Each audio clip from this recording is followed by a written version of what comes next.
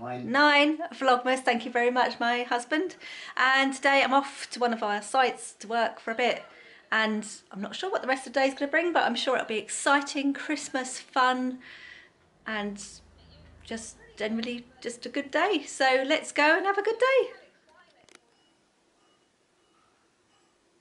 Oh, a long day at work, just in the car now.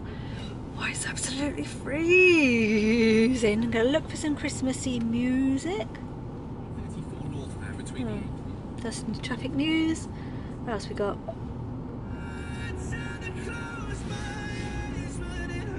Oh, that's not very Christmassy either. Oh, anyway, keep looking for Christmassy music and got to pop to Lidl's on the way past. Just need some bits and pieces, so and then heading home. Really.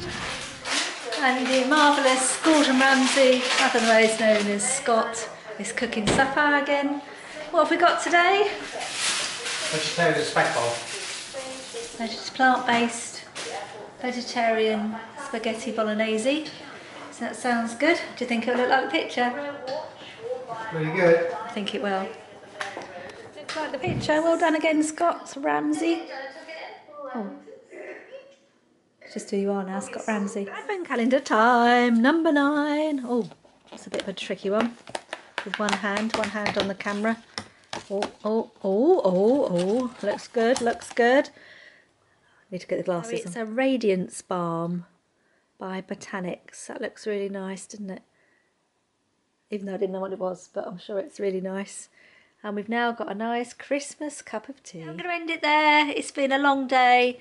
Uh, not the most Christmassy day, but still a lovely day. And I'll see you tomorrow. Bye.